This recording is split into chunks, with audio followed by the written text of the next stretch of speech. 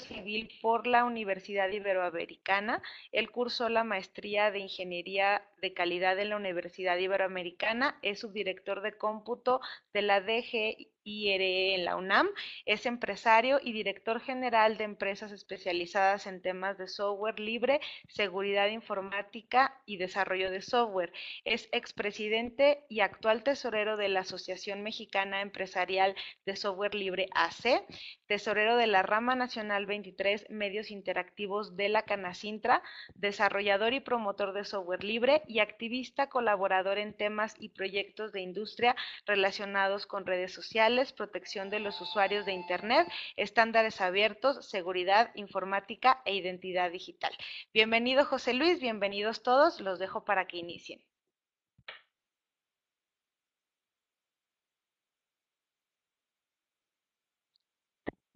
Puedes comenzar, José Luis. ¿Qué tal? Eh, buenas tardes. Eh, bueno, ya después de esta, de esta presentación tan extensa, eh, quisiera, quisiera empezar con el tema de automatización de procesos de negocio con BPMS de código abierto. Permítanme en pantalla completa.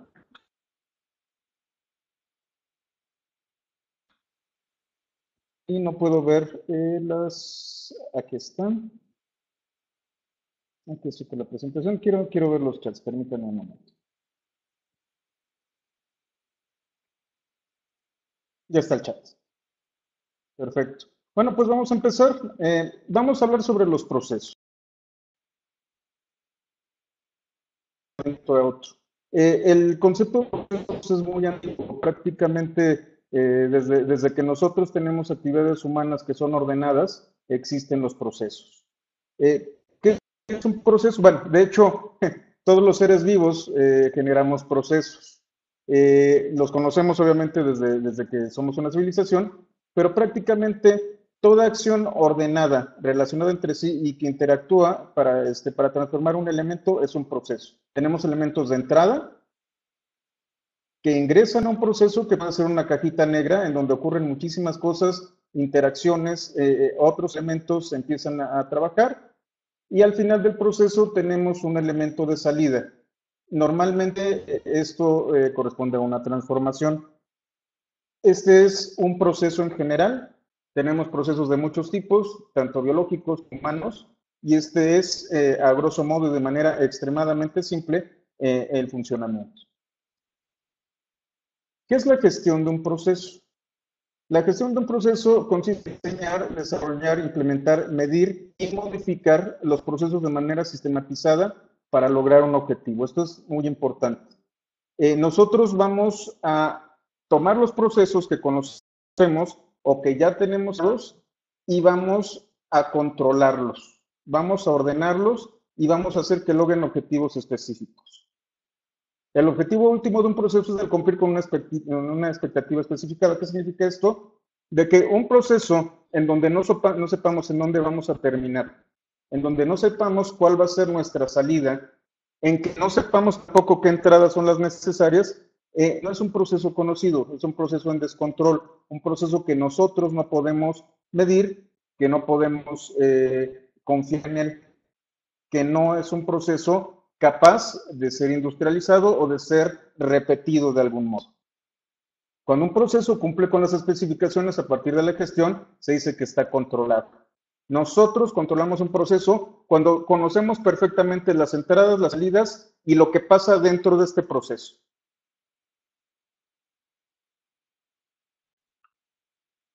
Eh, quizá eh, los procesos eh, que más, nos, que, más conocemos y los procesos que tienen mayor pues, conocimiento aplicado son los procesos industriales. la cuestión de procesos comenzó a adoptarse en, procesos industriales a principios del siglo XX en las industrias de la transformación, cuando la producción en masa y las líneas de fabricación comenzaron a existir, empezamos a, trabajar con gestión de procesos industriales. En lo que de la producción en masa fue necesario definir procesos que cumplieran con especificaciones cada vez más estrictas en la manufactura de productos. ¿Por qué? Porque, bueno, inicialmente construir una silla o construir una cama no requería especificaciones demasiado estrictas. podías equivocarte y podrías pegarle un, pedacito de madera o podrías aplicar un poquito más de, eh, de, pegamento o utilizar clavos. Pero bueno, la tecnología ha ido aumentando, eh, aumentando y la complejidad y especificidad de nuestros productos también ha aumentado. No es lo mismo la fabricación de un, modelo, de un modelo T en la planta de Ford, por ahí de principios del siglo XX, a la elaboración de un automóvil en una planta de Puebla en la Volkswagen en 2014. Las especificaciones para la fabricación no solo del, automóvil, sino de sus componentes, se comenzó a ser cada vez más estricta. Eh, de forma muy superficial, podríamos decir que la calidad es cumplir con la conformidad de una especificación. ¿A qué nos estamos refiriendo? Ustedes van a tener, hablemos de, la cosa más simple, un tornillo y una tuerca. Obviamente las especificaciones del tornillo y de la, tuerca en su diseño deben ser tales de que embonen, de que enrosquen y de que se ajusten unas con otras. Eso es la conformidad de una especificación. Las medidas, el tamaño, el peso, la manera en que se produce este elemento está siendo especificada de manera eh, eh, eh, muy bien identificada, muy bien planeada, muy bien diseñada. ¿Qué es calidad? Calidad, en un sentido muy amplio de la palabra, es precisamente esto. Nuestra expectativa, nuestra especificación es una, y dentro de un rango aceptable y tolerable, nosotros estamos obteniendo un resultado que cumple con esta expectativa. Eh, el auge de la gestión de procesos comenzó después de la Segunda Guerra Mundial. De hecho, eh, la, mejora de procesos eh, comenzó en Japón. Una vez que, bueno, ocurrió lo que debió de ocurrir después de la Segunda Guerra Mundial, el gobierno de los Estados Unidos estaba muy interesado en la, en la reconstrucción y mandó especialistas en temas de manufactura a Japón. en un principio, a lo mejor no se acuerdan ustedes de esos tiempos, los japoneses eran famosos por copiar y hacer malas copias de las cosas que los americanos hacían. Sin embargo, conforme esto fue avanzando, eh, eh, personas como, como Deming, como Ishikawa, eh, como Shingo Shingo, como Shiwa, varias personas especializadas en temas de manufactura se dieron cuenta de que podían mejorar sus procesos de producción e inclusive podían mejorar la manera y la calidad de, los, de, sus productos. Entonces Japón, de ser una sociedad que había sido prácticamente eh, devastada en su planta industrial, en unas cuantas décadas pasó de ser una, eh, sociedad industrial que copiaba y sacaba malas copias en una sociedad industrial de punta en donde la calidad se volvía parte de su cultura. Es ahí en donde empieza el auge de la gestión de procesos y empiezan a generarse herramientas, eh, metodologías, eh, técnicas, un montón de cosas específicamente para el control de los procesos. La gestión de la calidad y la gestión de estos procesos es la herramienta clave para la calidad. Eh, esto ha evolucionado y bueno, pues por ahí de la época de los 80s, 90s, eh, hizo este, la Organización para Estandarización Internacional, genera un estándar como el estándar ISO 9000 que habla acerca de la calidad. La primera aplicación que se hizo para este estándar fue precisamente en procesos industriales, porque es en donde más experiencia tenemos precisamente para el control. Vamos a hablar un poco de los procesos de negocio. Eh, la gestión de procesos de negocio, BPM, por las siglas en inglés, eh, trata sobre la gestión de los procesos dentro de una organización. Eh, como les comentaba, a nivel industrial quizá no demasiado pierde. Ustedes hacen un diseño, eh, generan análisis factoriales, diseñan experimentos, empiezan a, utilizar técnicas y tecnologías específicas para que no haya demasiada variabilidad dentro de los procesos. Y bueno, están hablando de maquinarias y de productos que pueden ser medidos de cierta manera. Sin embargo, conforme esto va avanzando, eh, no solo de productos, hablamos de precios, hablamos de satisfacción del cliente, hablamos de lo que se llama como la voz del cliente, que son cosas que no son tan tangibles, que son, que son eh, cosas que a lo mejor no son tan claras para un ingeniero, pero quizás sí para un mercadólogo, Y hablamos en este sentido, ya no, ya no, ya no de servicios, sino de lo que ocurre dentro de una organización. Cuando nosotros hablamos de procesos de negocio, digamos que esta palabrita de negocio le hace mucho ruido a organizaciones eh, gubernamentales y ONGs, porque podría ser procesos de organización. Esta gestión aplica a procesos dentro de las organizaciones, eh, eh, tomándola como una serie de procesos y subprocesos para obtener algo. A diferencia de los procesos industriales en los que por lo general los productos cuentan con especificaciones bien definidas y mesurables, cuando se habla de procesos dentro de una organización, las cosas realmente no son tan claras. ¿Cuál es la expectativa de la organización? ¿Qué quiere mejorar? ¿Cómo lo va a mejorar? ¿Qué impacto va a tener la organización dentro de sus procesos? El fin último de, Business Process Management, de la gestión de procesos de negocio, no es el de generar productos, para eso tenemos los procesos industriales, ni tampoco para generar servicios. Es el mejorar el impacto de los procesos dentro de la organización. Esa es la gran diferencia que tenemos con la gestión de procesos de negocios, con la gestión de procesos industriales y de servicios. Aquí estamos aplicando estos conocimientos que tenemos de la industria a nuestra propia organización, a la generación de documentos, elaboración de trámites, dar seguimiento a ciertos procesos que forman parte de nuestra organización, se mueven dentro de nuestras jerarquías y dentro de nuestro organigrama. Es ahí en donde entran los procesos de negocio y como se dan cuenta, quizá negocio, eh, traducido al español, no sea la palabra acertada para hablar de este tipo de temas. Podríamos hablar de gestión de procesos de las organizaciones. Eh, y bueno, eh, esta es la pregunta que normalmente no hacemos cuando empezamos en esto. es muy común que, cualquier persona que, contrate a un consultor experto en el tema de Process Management le diga, bueno, quiero que me, que me hagas un mapeo, quiero que me automatices, quiero que todo esto este, me corras a tres, cuatro gentes, los que no sirven se, se salgan, que me, que me optimices, que yo pueda medir, pero realmente nos está pidiendo la implementación de herramientas. ¿Cuál es la pregunta que nos tiene que hacer una persona que realmente está consciente de lo que es un proceso de negocio? Lo, que nos quiere preguntar la, la, persona, más bien la respuesta que nosotros tenemos que darle es, Vamos a implementar todos estos procesos de negocio, pero ¿cómo lo vas a medir tú? Como les comento, en procesos industriales nosotros tenemos tornillos que deben de embonar con las tuercas. ¿Cómo haces tú para saber que tu implementación de Business Process Management está funcionando correctamente o es un fracaso total? ¿Hasta dónde tú vas a decir la inversión vale la pena por el impacto que yo estoy generando dentro de la organización? Esto es algo que normalmente no se platica al principio cuando ustedes hablan de Business Process Management, porque bueno, los fierriquitas, los sistemas, las herramientas, pues los foquitos, pues eh, obviamente son muy activos.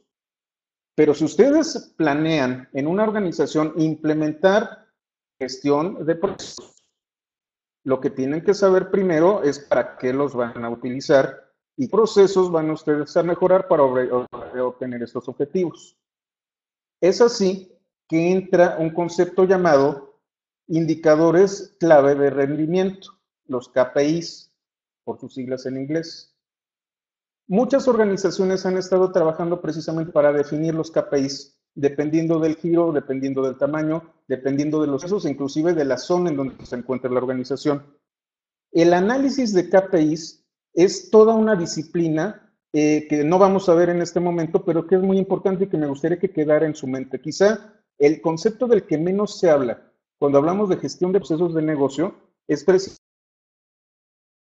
precisamente con los indicadores de rendimiento. ¿Cómo pueden ustedes medir la gestión si ustedes no tienen indicadores? Esto tiene mucho que ver con BI, tiene que ver con Big Data, tiene que ver con Data Warehouse, tiene que ver con eh, reportes, tiene que ver con queries, tiene que ver con muchas cosas que son de los resultados que se obtienen al ejecutar un proceso, pero que no son medidos correctamente. Cualquier implementación de gestión de procesos en una organización tiene que llevar una serie de indicadores que sean veraces y que sean de utilidad para la organización. Los KPIs son el objetivo último de la implementación de una gestión de procesos de negocio. ¿Qué componentes tenemos en el ciclo de vida de, una gestión de procesos de negocio? Hay que recordar que esto, como sucede con, todo lo que tiene que ver con calidad y mejora continua, son ciclos que se repiten uno detrás de otro. Este que tenemos aquí es un segmento de un ciclo. Una vez que terminamos, volvemos a empezar. ¿Qué componentes tenemos? Diseño de nuestros procesos, el modelado, la ejecución, el monitoreo y la optimización de todos estos procesos. Estos son los pasos que una vez que se termina la optimización, volvemos a diseñar, volvemos a modelar, ejecutamos y monitoreamos. Los famosos círculos virtuosos, si ustedes se acuerdan de Deming, se acuerdan de Crosby, inclusive, bueno, si se acuerdan de Suizo 9000, se van a dar cuenta de que hay ciclos de mejora dentro de las organizaciones. En el caso de los procesos, nosotros eh, tenemos la visión de que todo en una organización es un proceso. Esto es lo que nosotros vemos si estamos con Business Process Management. Absolutamente todo lo que está dentro de la organización es un proceso que interactúa y tiene su proceso, interactúa con otros procesos y tiene su proceso. Hay entradas y salidas constantes, ah, constantes, hay transformaciones de personas, de información, eh, de insumos, de muchas cosas dentro de la organización y todo esto debe de estar siendo manejado y controlado durante todo el proceso. El proceso, el gran proceso del negocio. Eh, el primer paso eh, que, se, que, se, tiene con, con respecto a, a, BPM es el mapeo de procesos. debido a que la mayoría de los casos de organización ya existe previamente la implantación del Process Management, nosotros no podemos diseñar. Si fuera una, organización limpiecita, nuevecita, que tenemos el acta constitutiva el día de hoy, sí podemos diseñar nuestros procesos de negocio, podemos empezar a, a generar toda la estructura de procesos de lo que nosotros queremos hacer, pero normalmente no es el caso. En la, mayoría, en la mayoría de los casos, cuando piden un consultor de procesos de negocio, ustedes tienen que modelar sobre lo que ya existe. Nosotros necesitamos armar un modelo de los procesos existentes mediante el mapeo de estos. ¿Qué significa esto? Si ustedes eh, han tenido experiencia con levantamiento de requerimientos, con la elaboración de casos de uso a través de otras metodologías, se van a dar cuenta de que esto es muy similar. Ustedes van a tener que hablar con las personas involucradas. Eh, no me gusta la palabra, pero creo que stakeholders es la palabra más, eh, que más se ajusta a, a, este tema. Ustedes buscan a, las personas indicadas dentro de la organización, identifican actores, eh, identifican roles, empiezan a hacer entrevistas y entonces empiezan, empiezan a darse una idea de cómo es la organización desde un punto de vista de procesos. Y con esto ustedes empiezan a generar un mapa de los procesos que ocurren dentro de una organización. ¿Qué identificamos en el mapeo de procesos? Actores, roles, insumos, productos, que pueden ser de distintos tipos, pueden ser productos internos, como lo puede, ser un memo, un correo electrónico, como lo puede ser una forma que debe de ser llenada, como lo pueden ser inclusive eh, eh, resultados de acciones que no pueden ser automatizadas. Por ejemplo, un reporte de visita eh, a, un lugar en campo. Eh, las actividades también tienen que ser identificadas, las interacciones, porque un proceso puede estar eh, formado de distintos subprocesos que también pueden ser mapeados. Aquí es algo muy interesante. nosotros, como prácticamente todo lo que tiene que ver con sistemas, tenemos grandes sistemas y cada uno está compuesto por pequeños componentes. En las primeras fases del Business Process Management, nosotros no podríamos o nos tardaríamos demasiado en hacer un mapeo detallado de los procesos de la organización. Lo que se recomienda durante los primeros, las primeras fases del ciclo es generar un mapeo general de los procesos, identificar sus procesos, pero no detallarlos. Hay que, hay que empezar de, de manera general a particular. Ahora, si ustedes ya identificaron un proceso que es el que le duele a la organización, que está retrasando las cosas, entonces, bueno, sí, en lugar de hacer un mapeo general de la organización. Si ya identificaron un proceso que es crítico y que en este momento nos duele, bueno, pues ese sí lo podemos detallar y atacarlo eh, en primera instancia. Ese es el criterio que ustedes deben de tener como un consultor en el tema de, procesos de negocio. Eh, aquí viene el primer componente de lo que es un BPMS, que son los modeladores de procesos. Si ustedes quieren, y bueno, eh, les gusta ahora sí que, ¿cómo se llama? Les gusta mucho eh, arrastrar el lápiz, eh, se, sienten como que pueden hacer cosas interesantes, además de origami con, el papel.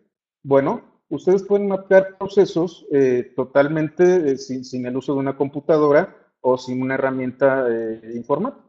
Se sientan, están con las personas, les hacen entrevistas y empiezan a generar sus diagramitas. realmente eso es muy incómodo, es muy difícil, y bueno, pues ya hay herramientas y soluciones que nos pueden facilitar las cosas.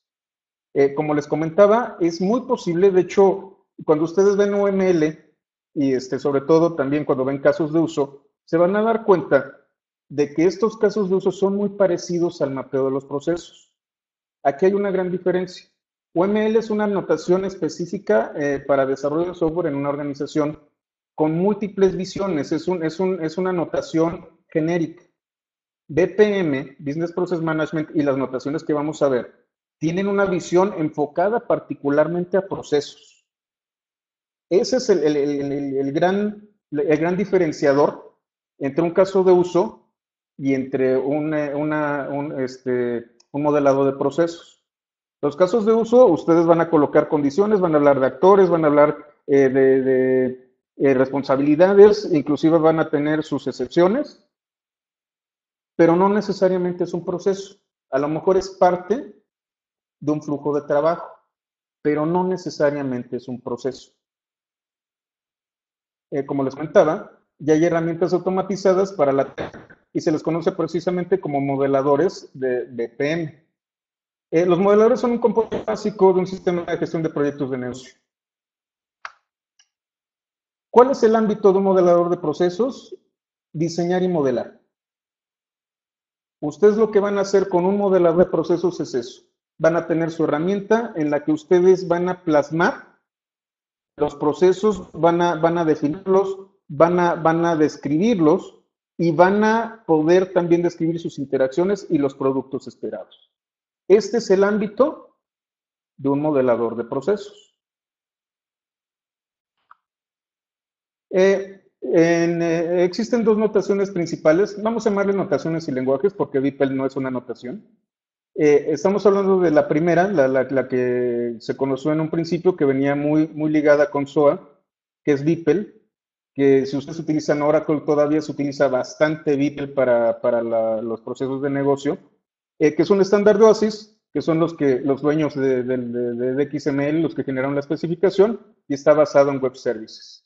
Este es un lenguaje en XML eh, que hace uso y consume web services específicamente para la orquestación de servicios en forma de procesos. Otra vez, hay que diferenciarlo con un servicio de un proceso. Un servicio es cliente-servidor, que este, ustedes tienen una entrada y una salida, pero es únicamente de información. Aquí hablamos de que no solo hay información, sino de que hay productos y hay personas dentro de un proceso. Esa es la parte en donde tienen que ser ustedes muy, muy detallados y delicados. ¿Qué es lo que hace Vipel?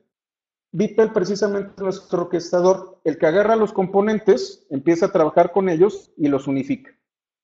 Eso es Vipel, y bueno, todo está en XML que puede ser interpretado posteriormente.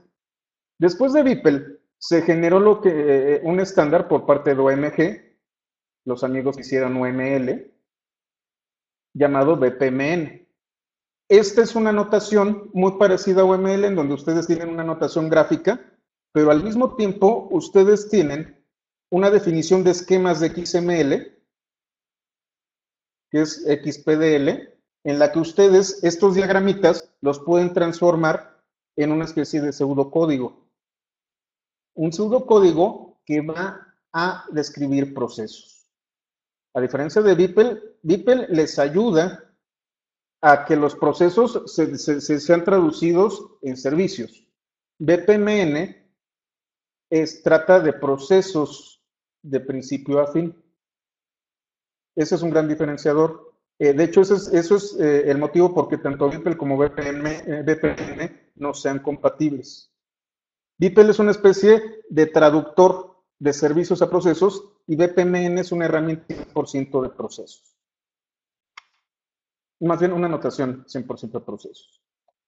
cuando nosotros modelamos, vamos a modelar dos partes. Si nos sentamos con las personas, si hacemos nuestras entrevistas, si lo tratamos como si fuera un caso de uso normal, nosotros vamos a tener un modelo ASIS, que es el reflejo de la realidad en el momento en el que nosotros hicimos las entrevistas y empezamos a mapear la organización, y un modelo 2B. El modelo 2B es lo que queremos en la organización. Después de hacer el análisis de la ASIS, vemos dónde podemos mejorar, eh, eh, trabajamos en función de nuestros indicadores y empezamos a hacer las modificaciones necesarias para que la CIS pase al TUBI.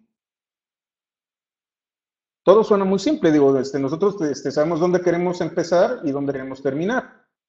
Eh, por ahí, como dicen este, las, personas del CEN, lo importante no es el final, sino el camino. Y es ahí en donde viene también el, gran detalle del Business Process Management y la consultoría en este tipo de cosas.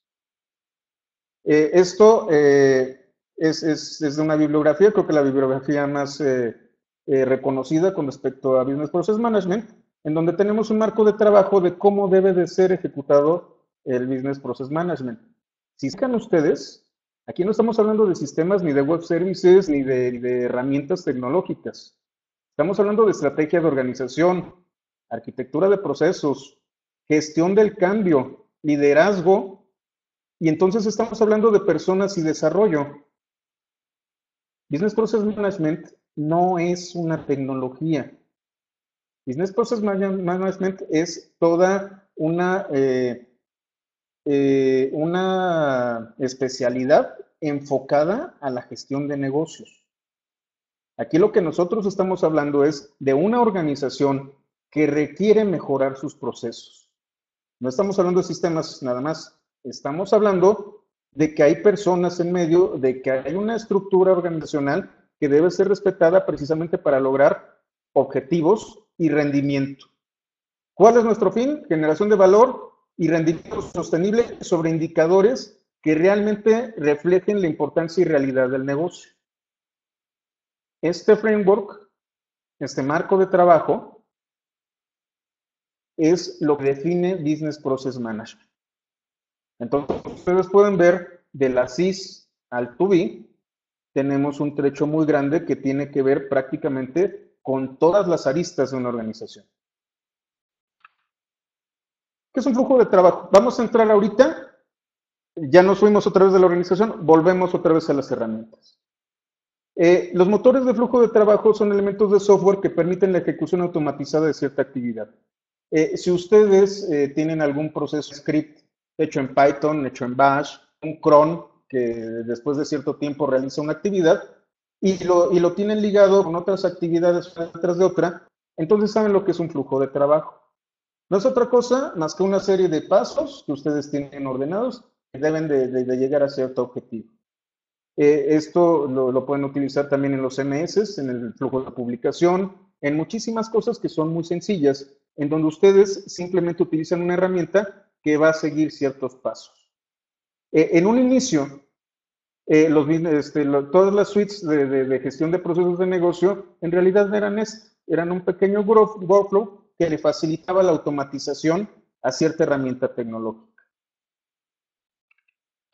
¿Cuál es el ámbito del flujo de trabajo? La ejecución nada más. Está aislado. No le interesa la organización al flujo de trabajo, eh, no le interesan los indicadores al flujo de trabajo, simplemente ejecuta las órdenes y no sabe más. Aquí evolucionaron los flujos de trabajo. De hecho, si ustedes ven BPMN, no es otra cosa más que un diagrama de flujo glorificado. Sin embargo, cuando ustedes ya cuentan con un motor de BPMN, detrás viene un diseño y un modelado. Y posteriormente viene un monitoreo y una optimización. Aquí es en donde es la diferencia. ¿Por qué? Porque nosotros a partir de nuestro modelo ejecutamos este modelo y hacemos que funcione que genere los productos, que genere los indicadores y puede ser monitoreado e inclusive puede ser optimizado. Los motores de BPMN actuales pueden eh, aceptar modificaciones al vuelo sin necesidad de apagar el sistema.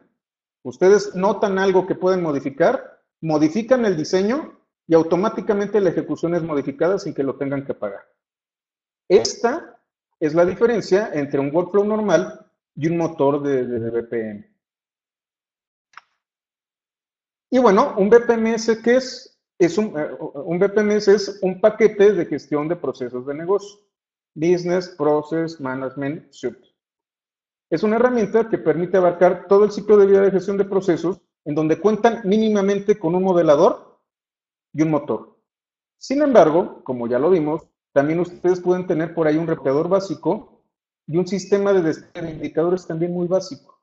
Si ustedes realmente quieren hacer algo un poquito más elaborado, a lo mejor lo que necesitan es un BI o a lo mejor lo que necesitan es Big Data o hacer una implementación completa de balance de scorecard.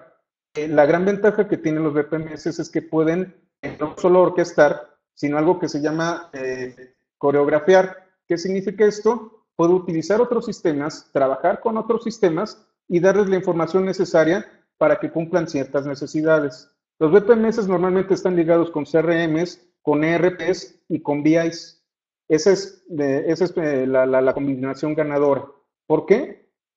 Porque un proceso no necesariamente tiene que ver con, el, con, las ventas, con un sistema de ventas o con un sistema de relaciones con el cliente. Es el proceso del negocio. Lo demás son herramientas que ustedes pueden añadir que les van a dar entradas y salidas, pero que no son el fin del BPMS. El BPMS tiene una función muy particular y es justamente optimizar los procesos de negocio. Cuál sea el negocio, cómo le haces, tienes un proceso industrial, o si lo que tú haces es, una bodega o, tienes un taller, eso, eh, esos insumos en particular de la vida real, los que, los que tú le vas a vender al final al público, no le interesan tanto al BPMS, le interesan los procesos, las interacciones dentro del negocio. Y bueno, este es el ámbito del BPMS diseñar, modelar, ejecutar y monitorear y optimizar hasta cierto nivel. Eh, los BPMS creo que aquí es en donde todavía le fallan un poquito. monitorear y optimizar sí necesitan acercarse a otras herramientas, como lo puede ser Pentaho, como lo puede ser este, algún BI por ahí, que les pueda dar información todavía más veraz. Sí, tienen ciertos esquemas de monitoreo en donde ustedes pueden hacer un query o revisar por dónde va un proceso, pero pueden utilizar herramientas un poquito más sofisticadas para lograrlo de una manera más avanzada. Y bueno, pues la optimización también tiene mucho que ver con el tema de indicadores. Ahí lo que ustedes necesitan es una buena manera de que estos indicadores sean traducidos de tal manera que el tomador de decisiones se dé cuenta si va bien o va mal. Entonces aquí Aquí es en donde nosotros empezamos a hablar de visualización, empezamos a hablar de balance scorecard, empezamos a hablar de, análisis de datos avanzados, empezamos a hablar de forecast, por ejemplo. Todo este tipo de cosas viene aquí para volver a empezar el proceso de diseño, modelado y ejecución. Así es como funciona un BPMS. Obviamente, ustedes pueden eh, durante la ejecución hacer algunas modificaciones. Si ustedes se dan cuenta, por eso es el monitoreo, de que algo está fallando dentro de su diseño, lo pueden modificar. Y entonces, antes de hacer el gran ejercicio de optimización, mejoran un poquito el proceso, sabiendo dónde moverle, pero sin desestabilizar el proceso completo. ¿Qué BPMS son los que nosotros encontramos de código abierto? Eh, estos son los principales, de hecho hay eh, distros, por decirlo así, de estos principales. Tenemos JVPN, que es parte de JBoss, de, Red Hat, eh, toda, todo un gran middleware enfocado precisamente al tema de negocios. Tenemos Abonita, que es un, proyecto europeo también enfocado al middleware para gestión de negocios. Tenemos Activity, que este es un, un asunto muy interesante el desarrollador original de JVPN eh, fue contratado por Alfresco para generar nuevamente eh, una nueva iteración, valga la redundancia. y creo Activity. Entonces Activity, digamos que es, que es una especie de, hermano menor de JVPN, en donde a partir de las lecciones aprendidas en el desarrollo de, de JVPN, empezaron de nuevo desde cero a generar otra vez un gestor de procesos. Visagi, Visagi es un modelador y tengo entendido de que no es open source. Eh, lo puedes utilizar, es freeware, pero no es un BPMS, es solo un modelador y no es de código abierto. Código abierto significa que ustedes tienen acceso al código. Si ustedes no tienen acceso al código, aun cuando lo puedan descargar de manera gratuita, no es open source. Eh, los BPMS tienen que ser utilizados, implementados en el área de sistemas, pero también de su usuario y obviamente la persona que va a hablar con el área de sistemas es la gente de, procesos. De procesos. Eh, perdón, creo que tiene un pequeño problema de audio. Voy a tratar de sacar el, micrófono. Bueno, tenemos eh, a Process Maker, que este es un, proyecto latinoamericano interesante. Está desarrollado en PHP, me parece, no sé si es Bolivia, Ecuador. Eh, es en donde están desarrollando y es muy ligero, de hecho es el más ligero de, todos los sistemas, eh, que bueno, eh, me gusta bastante, es el que yo utilizo personalmente, los otros los conozco, eh, pero el que más me gusta es Process Maker personalmente. Y bueno, tenemos un, proyecto mexicano de Infotech, Semantic Web Process, que por cierto, por ahí anda, anda patrocinando algunos eventos de por aquí, así que no nos vamos a olvidar de ellos que es, es una visión enfocada a, la web semántica y a, todos estos temas, pero también que tiene su modelador y su motor de procesos. Eh, ya ha sido eh, implementado en alguna organización gubernamental aquí en México y creo que los resultados han sido muy favorables. Eh, de Semantic Web Process es con el que menos experiencia tengo. Lo he visto operando, he visto la manera en que se modela pero yo no he ejecutado ningún proceso dentro de Semantic Process. En JVPM, en Bonita, en Activity y en Process Maker, eh, he trabajado con ellos eh, en, algún, en algún momento. Y bueno, sobre todo en, proyectos que ya son productivos, Process Maker es el que yo he estado utilizando. Eh, el último, sí, efectivamente, digamos que es una extensión de Semantic Web Builder, el Semantic Web Process, es la parte de procesos, como les comentaba, todo comienza como un workflow y el workflow empieza a crecer hasta tener una característica muy particular que le permite ser un eh, gestor de procesos. Eh, todos tienen, tienen orquestador. De hecho, JVPN, Bonita y Activity eh, son muy buenos orquestando. acuérdense, una cosa este, son procesos y otra cosa son, son tecnologías. JVPN con JBoss es muy bueno para la orquestación. JBoss es el encargado de a través del middleware y JVPN es el encargado de los procesos.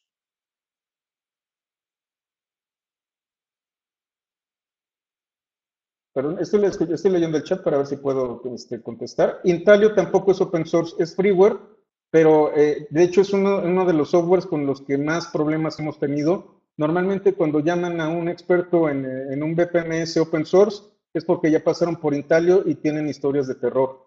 Eh, no es malo, lo malo es la manera en cómo lo implementan a veces. Tengan mucho cuidado con Intalio. Si van a utilizar Intalio, apréndanlo muy bien porque tiene dos o tres eh, temas, dos o tres cositas que, dificultan mucho la implementación. Sí, sí, sí, Rubén, Intalio no es, no es nada bonito. Y creo que tú tienes la experiencia precisamente en, precisamente eh, trabajar con, con BPMS, eh, creo que propios. Eh, creo que no has liberado tu BPMS precisamente para sustituir a Intel. Ahora Portal, no lo conozco, déjame, déjame revisar, Gabriel.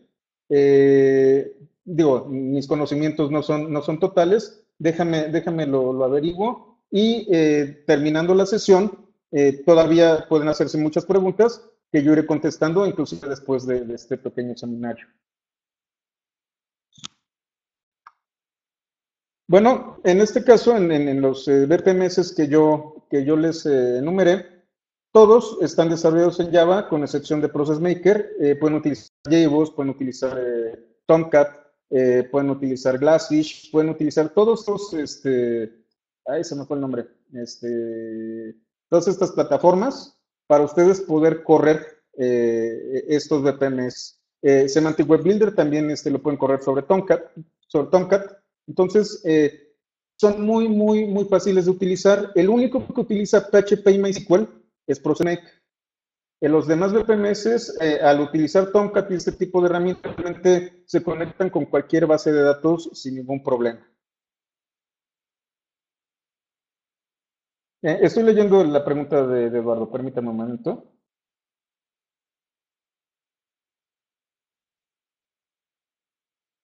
Sí, de hecho, Eduardo, el área de sistemas y, eh, eh, tiene mucho que ver con los VPNs. Tú, no, tú no puedes, como área de sistemas, desentenderte de un VPNs porque siempre va a haber algún problema. Y recuerda que estamos hablando de orquestación, estamos hablando también de coreografía de servicios. Todos los servicios automatizados. Mira, déjame te lo pongo así. Business Process Management no solo habla de los temas que pueden ser automatizados, esa es otra cosa que es muy importante. ¿Por qué? Porque el cliente va a querer automatizar absolutamente todo. Y en algunas etapas de la implementación de Business Process Management no va a ser posible una, automatización completa. ¿Por qué? Porque Doña Chonita a lo mejor ya está demasiado grande, eh, porque a lo mejor no hay una conexión de Internet eh, en una zona en donde ustedes tienen parte del negocio y entonces la automatización no va a ser, no va a ser posible. ¿Qué es el BPMS? Justamente esto, una suite que va a manejar procesos que van a estar fuera de línea y que dentro de lo posible va a automatizar. Entonces estás tú entre dos mundos.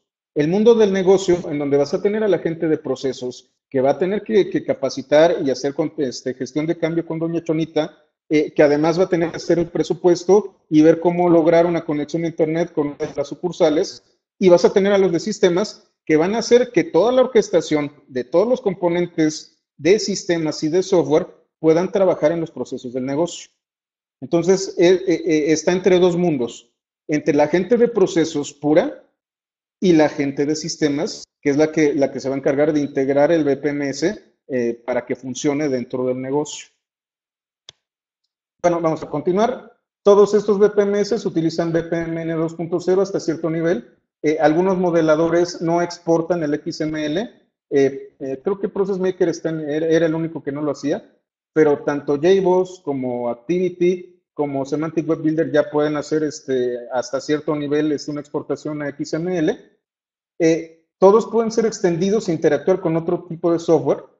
se llevan muy bien con muchos sistemas, sobre todo con, con BI, CRM y RP. Si ustedes no tienen esas conexiones, eh, eh, el, el, BPMS realmente no funciona. Estarían hablando de, un sistema que está sordo, que no tiene entradas y salidas del mundo real, que no se conecta con su negocio.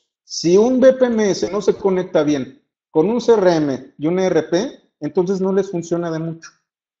Tiene que haber conexiones con esos y bueno, después se pueden conectar con un BI, que es el que les va a dar los reportes y les va a hablar de indicadores.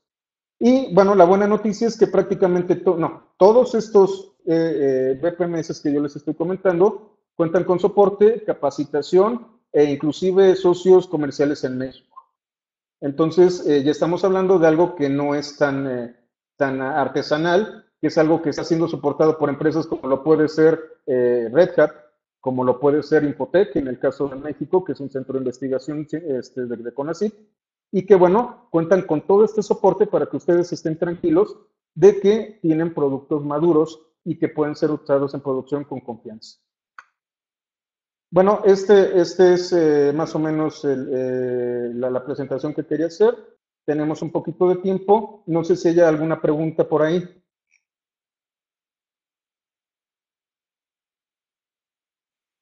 Los que tengan alguna pregunta o comentario para José Luis, los esperamos ahí en el chat, por favor.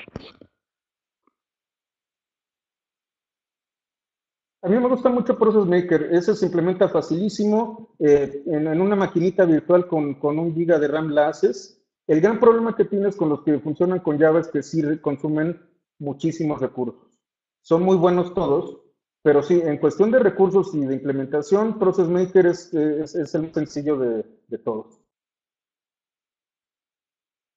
Eh, sí, normalmente cuando nosotros eh, implementamos un Process Management, es porque esperamos mejoras en los procesos. Eh, con toda honestidad, Eh, cuando la persona de gerencia dice, esta organización es un verdadero relajo, es cuando llega un consultor de procesos de negocio. El consultor de procesos de negocio tiene primero que revisar el negocio y ya después meter la herramienta. Meter la herramienta de entrada, si alguien te dice, si algún consultor te dice, inmediatamente te vamos a meter el BPMS, lo que te quiere hacer es cobrarte la licencia y no ayudarte.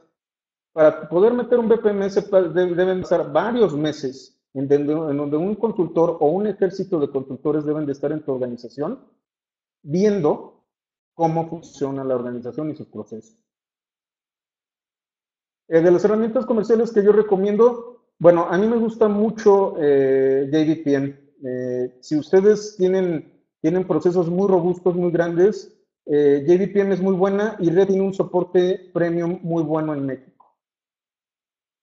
Ah, de las herramientas comerciales. Eh, bueno, es que hay open source comercial, eh, ya, yo pensé, ya, ya, hay este privativo comercial. Eh, no he tenido demasiada, demasiado contacto con estas herramientas. desgraciadamente sí soy muy fan del software libre, entonces desde hace algunos años prácticamente no utilizo otra cosa que no sea Linux y software libre. Algunas veces me topé con, precisamente con, con Intalio, que normalmente era para sacarlo de la organización. Y bueno, Oracle eh, con, con, con Beeple ha tenido éxito.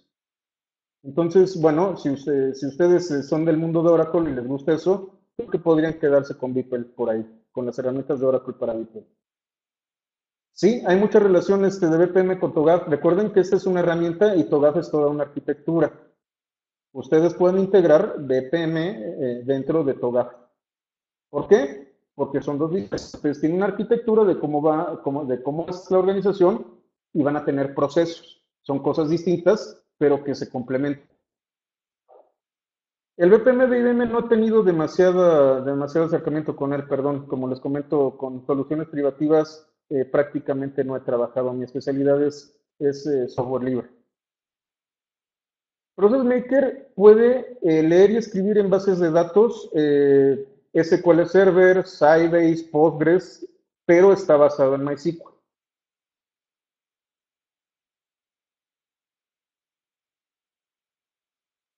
Sí hay una certificación de BPMN, sobre todo la anotación, y cada proveedor le da cursos con respecto a su herramienta, tanto, tanto Red Hat como este, los de Process Maker, como la gente de Alfresco, sí tienen capacitación y algunos inclusive ofrecen certificación.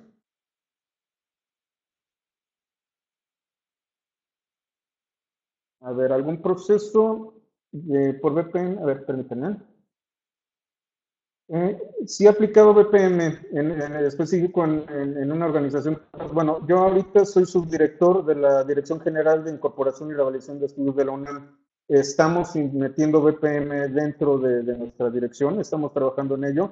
Eh, acabo de entrar, entonces estoy en el, precisamente en el proceso de análisis de negocios y yo calculo de que antes de que termine el año vamos a estar trabajando sobre con BPMS dentro de, la UNAM. Eh, si en mi organización el área de sistemas quiere automatizar un proceso por BPM, diciendo que el justificante es porque el modelado es más ágil y las herramientas como que nos agiliza el desarrollo eh, es, correcta, su visualización ah, ok. Eh, el, cuando nosotros hablamos de procesos, y sobre todo con, con BPMS, Estamos hablando de procesos que conocemos y de que tienen eh, cierta, eh, que son patrones que pueden ser reproducibles. Eh, por ejemplo, en mi caso, en donde tengo altas, bajas, cambios y hay cierto tipo de reportes que se tienen que dar, el BPMS es natural. Sin embargo, no es, no, no, no es una bala de plata. Un BPMS no es un CRM. Si la organización lo que requiere es un CRM o un ERP, pues obviamente no van a poner un BPMS. La justificación para un BPMS no tiene que ver con desarrollo, sino con mejora de los procesos. Efectivamente, bueno, si van a empezar a desarrollar desde cero, bajo una, una, premisa basada en, procesos, pues sí, definitivamente se van a tardar mucho más en desarrollar e implementarlo que utilizar un BPMS. Pero otra vez, no pueden justificar facilidad de desarrollo de un CRM o un RP al implementar un, un, BPMS. Eh, a Genexus más o menos lo conozco. Eh, Genexus tampoco tengo una, una opinión muy, muy madura. Eh, lo conozco especialmente, también alguna vez vi algunos proyectos con ellos. No es tan malo, pero sí es bastante pesado. La curva de aprendizaje es fuerte. Eh, realmente no podría decir más. Sí es una curva, bueno, una curva de aprendizaje eh, fuerte, pero Genexus también tiene buen soporte eh, por parte de la corporación. BPM solo para procesos humanos. Esa es una excelente pregunta, Rubén. Pues mira, eh, eso lo hicimos alguna vez, sobre todo, estuvimos en un proyecto con Infotec, vengo de Infotec de hace algún tiempo, que se, que se, llamaba, se llamaba Gobiernos Locales Digitales, en donde precisamente no podíamos llegar a, a automatizar todo y en donde las personas estaban muy acostumbradas a utilizar el papelito y los pagos se hacían con depósito bancario y en donde lo único que podías hacer, más que automatizar los procesos y mandar correos y hacer transferencias, pues únicamente tenías unas checkboxitas en donde decías, cumplió, palomita, no cumplió, palomita, eh, autorizó, palomita. Y ese es un proceso que sí es muy pedestre, pero prácticamente es el nivel en el que están las organizaciones en ese momento. Hablar de una automatización a gran escala en las organizaciones, sobre todo en pymes y entidades gubernamentales, todavía es un reto. Eh, los primeros niveles de, gestión de procesos nada más son de, palomitas, casillitas, y este, le pasas la actividad a otra persona. Eh, para una certificación ISO, eh, sí puedes aplicar EPM, eh, sobre todo para la gestión documental. Específicamente ISO 9000, la gestión de documentos con Business Process Management te facilita mucho las cosas. Lo mismo sucede con Microsoft, que también es un modelo de procesos. Tú puedes implementar BPMN, digo, BPMS, eh, que, les van a ayudar bastante, sobre todo en ver cómo funciona la organización y todos los entregables que les van a hacer la, la, la conformidad a la norma, eh, se genera muy rápido con, con BPMS.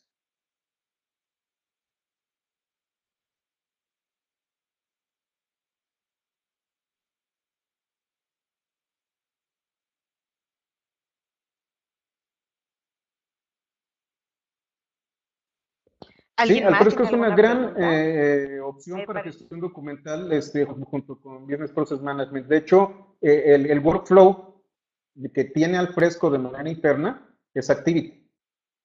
Eh, se, los recomiendo, se los recomiendo bastante. Es, es algo que hemos estado explorando. Eh, inclusive por ahí conozco alguno que otro proveedor. Y, ay, se me, llama, se me olvidó esta herramienta de gestión documental que es muy que, que comercial, que es muy utilizada sobre todo en el SAT. Se me fue el nombre este, compite con opciones comerciales de, este, de gestores de contenidos empresariales.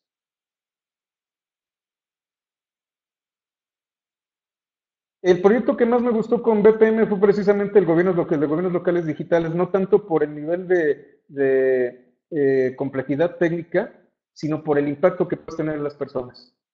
Si el pago del predial de, de dos meses lo reduces a dos semanas y no hay errores y la persona paga correctamente en el banco y puede pagar el predial justamente, ese es el mejor proyecto. ¿Por qué? Y ahí vamos a hablar de los impactos. El impacto social de estos pequeños trámites que no requieren de, gran eh, sofisticación tecnológica, tienen un, un impacto fortísimo en la sociedad. Entonces, si tú me preguntas cuál es el que más me gusta, yo creo que es el más sencillo, pero es el que más impactó a la sociedad en su beneficio. Documentum, exactamente, el EMC, este, este, tanto Documentum como el Fresco son equiparables, nada más el Fresco es open source. Ay, déjeme ver la liga del proyecto. Eh, googleate Semantic Web eh, Process y seguramente vas a encontrarte el proyecto de Infotech de, de Semantic Web Process o métete a Infotech y lo deben de tener ahí con su gorila. Ah, el de GLB. No, eso fue más o menos en 2010. Eh, desgraciadamente, pues fue un proyecto que ya terminó, entonces tendrías que ir a Infoteca a pedir información sobre él.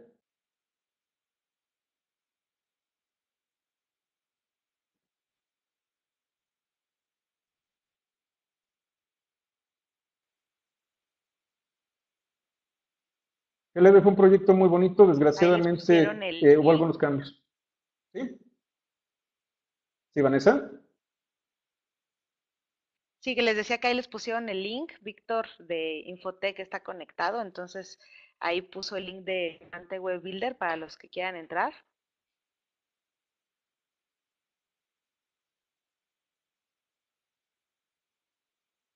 ¿Alguna otra pregunta, comentario para José Luis? Creo que Oscar, este... No, creo que no. Bueno, ahí está el comercial de nuestros amigos de Infotec, que son bienvenidos. Vic, un, abrazo.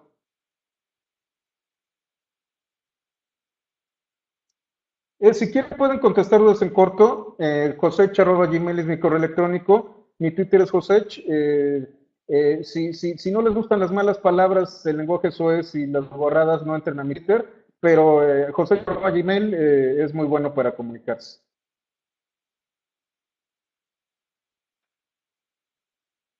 Muy bien, pues muchísimas gracias José Luis por haber estado el día de hoy. Esperamos tenerte más adelante en otro webinar, ¿sale? Perfecto, muchas gracias. Y muchísimas gracias a todos por haber participado el día de hoy.